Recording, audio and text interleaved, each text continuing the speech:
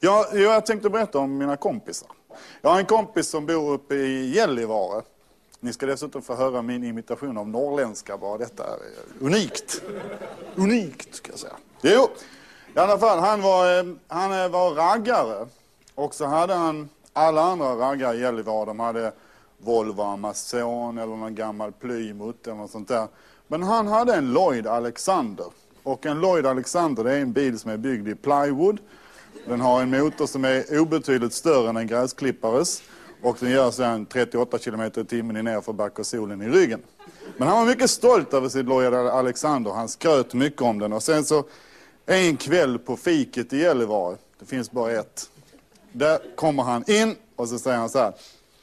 Tjena grabbar! Det är norrländska. Det hörde ni direkt va? Ja, så just så säger han så här. Ja grabbar, jag ska berätta vad jag har varit med om idag vet du.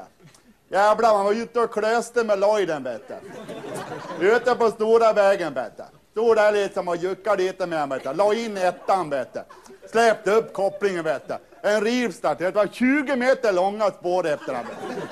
Sen upp efter en 80-90 knutar vet du. Då, då tänkte jag, nu drämmer jag in tvåan vet du. Ja, så låg man där, sen hoppade jag över trean och väckte direkt upp till fyran vet du. Jag låg väl och blåste en 180-190 vet du. Spann som en katt, man kunde knappt höra motorn vet du. Så plötsligt så här, sviss! Så är det något jävla gult skit som kör förbi, alltså liksom, jag skymtar förbi vid kanten. Tänkte, vad fan är det? Jag, tänkte, jag trampar på bromsen, vet du. Han stannar på nio meter, vet du. Ja, slängde in backen, vet du. Släppte upp kopplingen, backade i 120, vet du. Stanna. Och titta. Ja, fan, hela väg, väghyveln hade gått av. Ja, tänkte jag, ja, fan. Så jag gick av ett bra. Ska du ha hjälp? skrek jag. Ja, han. Så jag slängde ner en sån här boxerlina, vet du. Gör fast! Så. Sen så klämde jag fast den i lojden, vet du. Så tänkte jag, ja, här behöver man knappt använda ettan, det är inte så tungt. Vet du. Jag tar tvåan direkt.